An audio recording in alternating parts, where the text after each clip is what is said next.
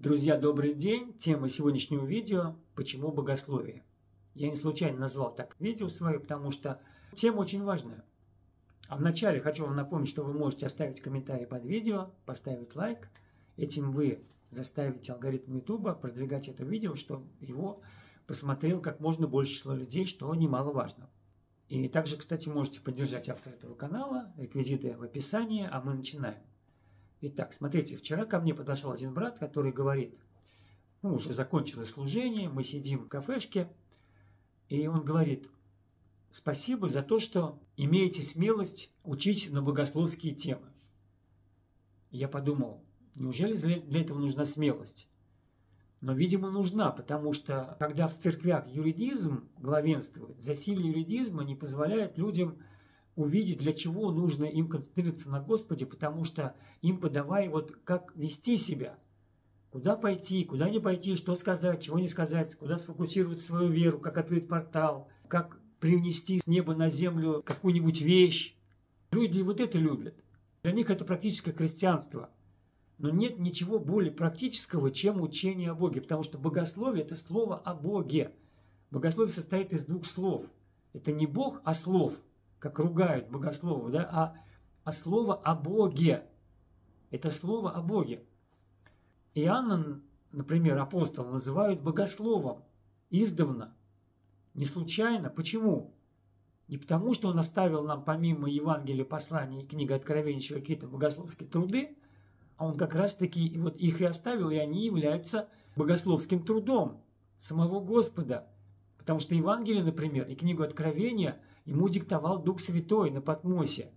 Он записывал слово за словом. И там есть такие факты, которые не вошли в синоптические Евангелия. Разговор Иисуса с Никодимом, разговор Иисуса с Пилатом. Некоторые выражения Иисуса, много высказываний, каких не было.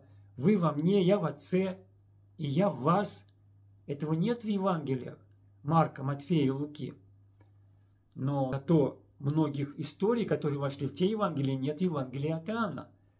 Иоанн как будто бы написал отдельные, непохожие Евангелия, но они не противоречат друг другу. Просто его фокус на Господе. Это Евангелие, как никакой другой, открывает нам Иисуса Христа как Бога, пришедшего во плоти. Открывает нам единение с Ним. Иоанн сосредоточен на этом, на сердце Отца, на сердце Христа. Иоанн лежит на груди Иисуса, Иоанн падает к ногам Иисуса и рассказывает это в своих Евангелиях говорит о себе как об ученике, которого любил Христос. И вот Рик Джонер, пророк, я часто привожу его примеры, он писал, например, в книге Жатова, что Иоанн в последние дни его учение выйдет на первое место. То есть мы были сосредоточены на посланиях Петра и Павла, а теперь Господь сделает самыми важными, сакцентирует нас на посланиях, на Евангелии от Иоанна. Почему? Потому что Он хочет, чтобы мы сконцентрировались на Нем самом. Господь хочет, чтобы мы сфокусировались на Нем. Потому что послание Иоанна как раз фокусирует нас на Господе. И заметьте, что делал Иоанн. Он не участвовал в каких-то религиозных дебатах. Когда шел с Петром на молитву в час девятый, молчал, в то время как Петр провозгласил «Золото и серебра не имею, а что имею, даю тебе», во имя Иисуса Христа встань и ходи. А потом именно Петр проповедовал так, что покаялось три тысячи человек. Петр проповедовал, покаялось пять тысяч человек. Иоанн все время в тени.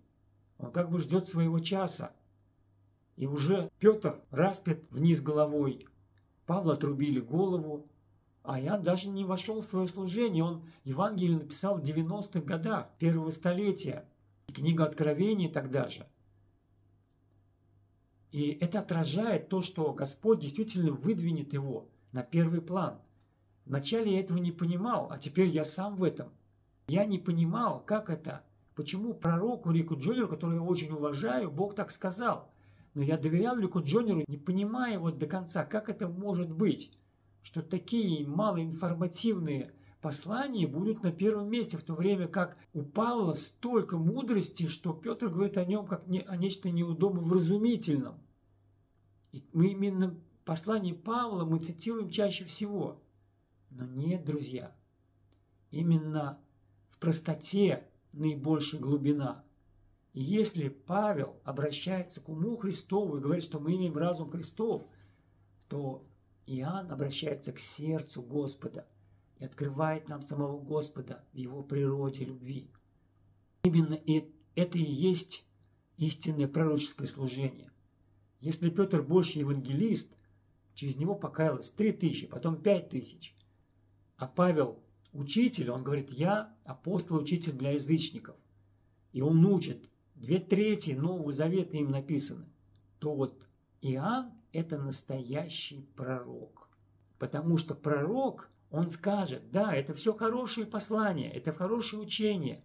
И о том, как нужно жить в браке свято, и о том, как нужно правильно принимать причастие, и о том, как нужно родителям поступать со своими детьми, а детьми слушаться родителей, это все правильно и хорошо.